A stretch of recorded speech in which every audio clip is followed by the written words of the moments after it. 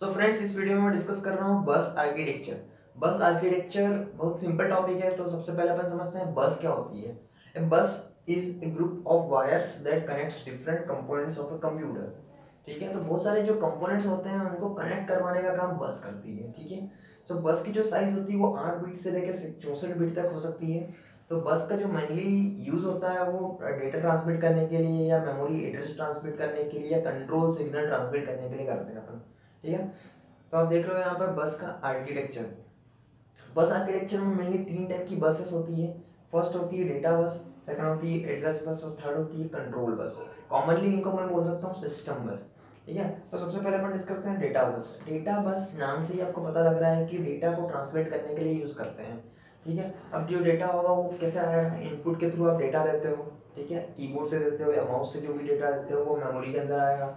Memory के अंदर आने के बाद जो डेटा है, वो सीपीयू में एग्जीक्यूट होगा और वापस से सीपीयू से मेमोरी और आउटपुट डिवाइसेस में आएगा। सो ये जो डेटा बस होती है, वो बाई डायरेक्शनल होती है। दोनों तरफ़ वर्क करती है okay bidirectional next is control bus control bus और एड्रेस बस यूनि डायरेक्शनल होती है। इसका मतलब ये है कि सीपीयू के अंदर जो कंट्रोल यूनिट होती है, आपको पता होता है कि कंट्रोल यूनिट और एएलयू इसके अंदर होता है। तो सीपीयू के अंदर जो कंट्रोल यूनिट होती है, वहाँ पे कंट्रोल सिग्नल्स होते हैं। तो कंट्रोल सिग्नल्स ट्रांसफ़र होते हैं दूसरे कंपोनेंट्स के लिए।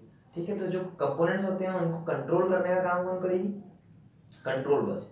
ठीक है, इसके अंदर टाइमिंग सिग्नल्स भी हो सकते हैं कि किस टाइम पे कौन सा डिवाइस वर्क करना चाहिए। वो उनके बीच में सिंक्रोनाइजेशन का टास्क भी कंट्रोल बस परफॉर्म करेगी। Okay so control bus is unidirectional next is address bus अब एड्रेस बस में क्या होता है? एड्रेस ट्रांसफ़र होगा। एड्रेस मीन्स जो भी डेटा होता है वो किसी न किसी पर्टिकुलर मेमोरी लोकेशन पे होता है। ठीक है? तो मेमोरी लोकेशन सबको पता होना चाहिए। इनपुट और आउटपुट डिवाइसेस को मेमोरी लोकेशन पता होना चाहिए कि कौन से मेमोरी लोकेशन को एक्सेस करना है। सीपीयू को भी सेम थिंग है कि कहाँ से डेटा लेना है और कहाँ पर डेटा राइट करना है। सो so, डेटा लेना मतलब रीड करना डेटा भेजना मतलब राइट करना। ओके सो एड्रेस बस में मेमोरी एड्रेसेस ट्रांसफ़र होते हैं।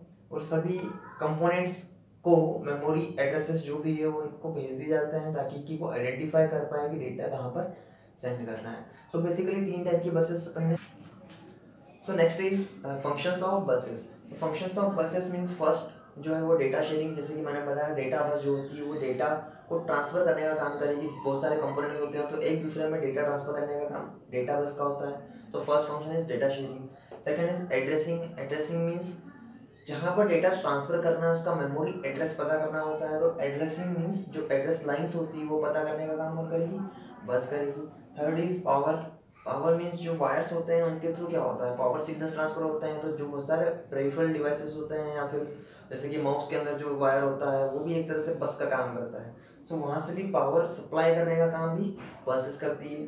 फोर्थ इज़ टाइमिंग सिग्नल्स जो जो भी टास्क परफॉर्म हो रहे हैं, जो भी कंट्रोल यूनिट या सीपीयू टास्क परफॉर्म कर रही है in the form of clock cycles कर रही है। उन क्लॉक साइकिल्स को सिंक्रोनाइज करने का काम बस का होता है, उसके लिए मैंने लिखा है टाइमिंग सिग्नल्स ठीक है? तो प्रॉपर टाइमिंग पे कौन सा डिवाइस कौन कौन सा डिवाइस वर्क करेगा या कौन सा डिवाइस डेटा सेंड करेगा, आप किस डिवाइस को रुकना है तो ये सब बसेस की हेल्प से होता है।